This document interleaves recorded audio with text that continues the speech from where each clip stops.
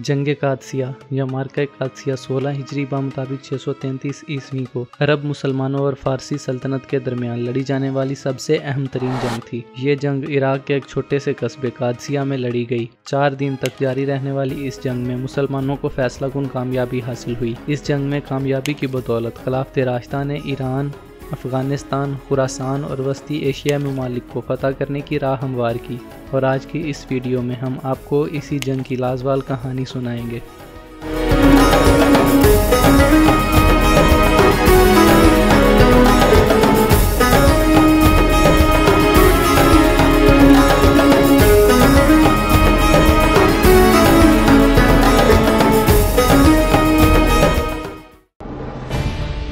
हजूर अक्रम वसल्लम के दौर में फ़ारस का हुक्मरान खुसरू परवेज़ था, जिसके अहद में सल्तनत फ़ारस अपनी इंतहा को पहुँची और शाम, फ़लस्तीन और मिस्र तक को फतह किया। 602 से 628 ईस्वी तक लड़ी जाने वाली जंग में सल्तनत फ़ारस ने शाम, फ़लस्तीन और मिस्र ईसाइयों से छीन लिए।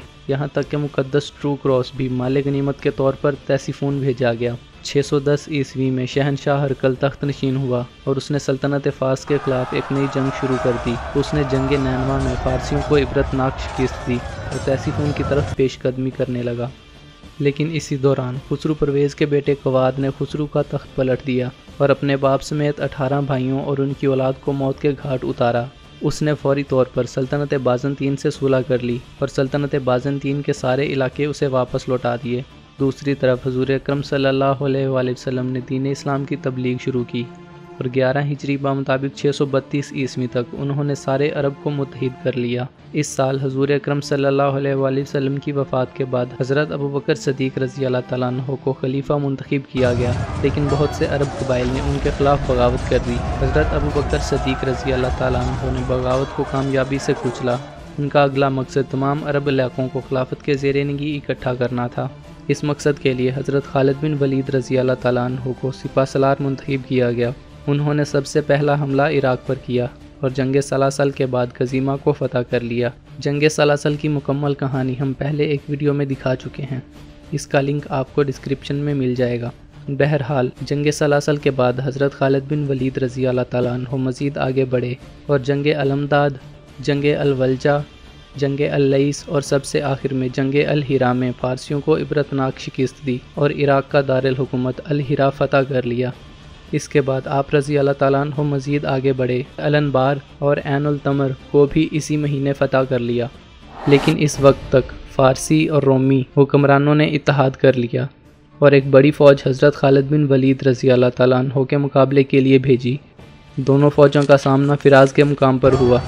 जिसमें मुसलमान अफवाज को एक बार फिर कामयाबी हासिल हुई। इस वक्त तैसीफोन को छोड़कर इराक का सारा इलाका फतह हो चुका था, लेकिन मगरबी सरहद पर मुसलसल हालात ख़राब हो रहे थे। बाजंतीनी फ़ौज शाम और फ़लस्तीन में लाखों की तादाद में इकट्ठी हो रही थी। इसके पेश नज़र तैसीफोन का मुहासरा उठा लिया गया और आप रज़ी अल्लाह ने शाम की तरफ़ पेशकदमी की। इसके बाद आप रज़ी अल्लाह ने शाम में बाजंतीनियों को शिकस्त दी। जंग यरमूक की मुकम्मल कहानी हम पहले एक वीडियो में दिखा चुके हैं। इस दौरान फ़ारसी फ़ौज ने इराक़ पर हमले जारी रखे। तेरह हिजरी मुताबिक छः सौ तैंतीस ईस्वी को हज़रत अबू बकर सदीक रज़ी अल्लाह तु की वफ़ात के बाद हज़रत उमर रज़ी अल्लाह तु मुसलमानों के दूसरे खलीफा मुंतखब हुए।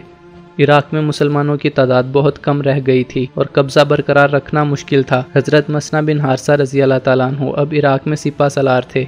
उन्होंने अल हिरा को खाली कर दिया। और सहराए अरब के पास पड़ाव किया। इसके बाद हज़रत उमर रज़ी अल्लाह ने फ़ौजी कुमक भेजी और हज़रत अबू उबैदा रज़ी अल्लाह तु को सिपा सलार मुकर किया।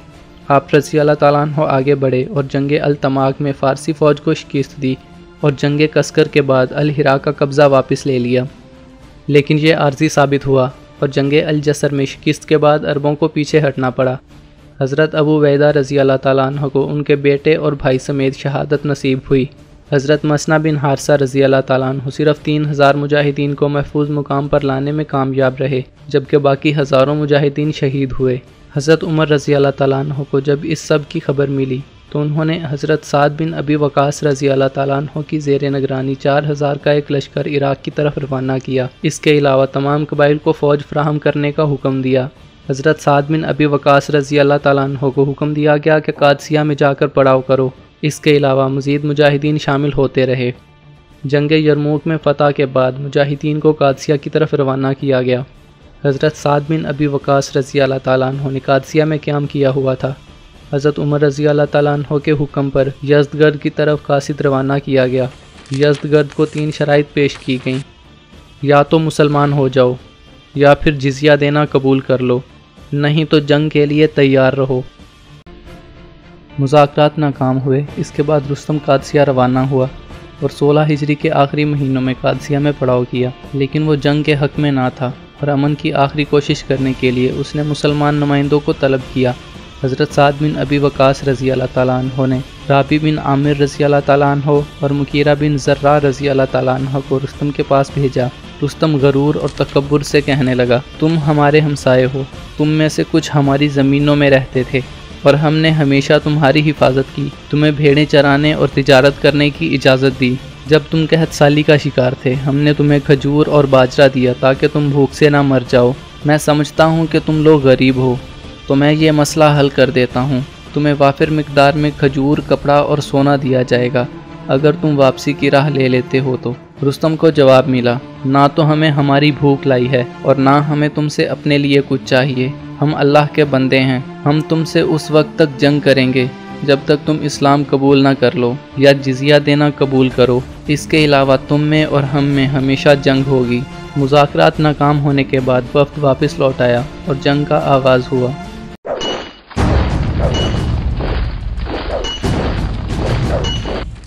सोलह हिजरी मुताबिक 16 नवंबर 636 ईस्वी को ये अहम तरीन मार्का शुरू हुआ। हज़रत साद बिन अबी वकास रज़ी अल्लाह तु ने ख़ताब करते हुए इरशाद फरमाया, ये तुम लोगों की विरासत है, जिसका अल्लाह ताला ने तुमसे वादा किया था। उसने तीन साल पहले तुम्हें सुरखरू किया और ये वतन तुम्हें अता किया, जिससे तुम आज तक फ़ायदा उठा रहे हो। जंग का आगाज़ आमने सामने की लड़ाई से हुआ। ज़्यादातर लड़ाइयाँ हारने के बाद रुस्तम ने दाएँ बाजू को हमले का हुक्म दिया। हमले का आगाज़ तीरों से किया गया, जिसमें मुसलमानों को ज़्यादा नुकसान उठाना पड़ा। इसके बाद जंगी हाथियों के साथ मिलकर मुसलमान फ़ौज के बाएँ बाजू पर हमला किया गया।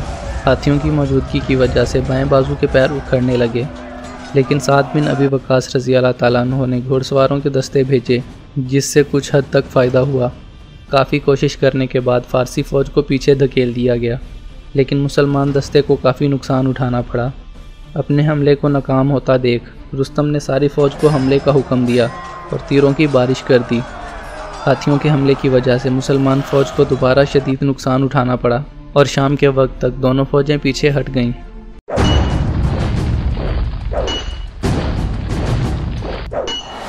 दूसरा दिन भी पहले दिन की तरह मुकाबलों से शुरू हुआ। मुकाबले शाम तक चलते रहे। इसी दौरान जंग यरमूक से फतेहयाब होकर आने वाले पाँच हज़ार मुजाहिदीन भी फ़ौज में शामिल हो गए, जिससे मुसलमानों की ताकत में इजाफ़ा हुआ। ये देखते हुए रुस्तम ने हमले का हुक्म दिया, लेकिन उन्हें जल्द ही पसपा होना पड़ा।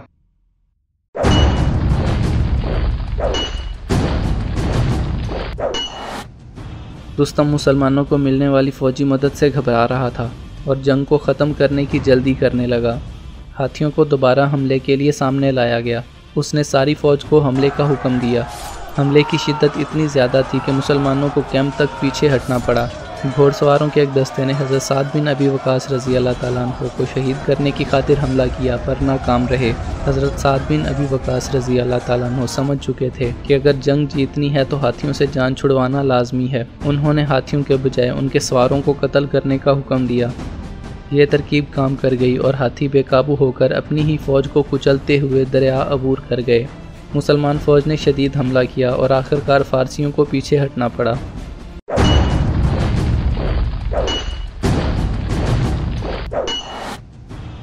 चौथे दिन सूरज तलु होते साथ ही जंग का आगाज़ हुआ। उन्होंने घोड़सवारों का एक दस्ता तैयार किया, जिसमें बेहतरीन घोड़सवार और जंगजू शामिल थे। जंग शुरू होने से पहले उन्होंने रुस्तम के हिफाजती दस्ते पर एक ज़बरदस्त हमला किया और रुस्तम शदीद ज़ख्मी हो गया। हालाँकि घुड़सवार दस्ते को पीछे हटना पड़ा, पर उनका मकसद पूरा हो चुका था। चंद ही घंटों में रुस्तम की मौत हो गई। मुसलमानों ने एक ज़बरदस्त हमला किया, फ़ारसी फ़ौज उससे पीछे हटने लगी। जब उनको पता चला कि रुस्तम मारा गया है तो उनके हौसले जवाब दे गए। उनके बड़े बड़े जर्नैल मैदान छोड़कर भाग निकले। हज़ारों दरिया अबूर करने की कोशिश में मारे गए।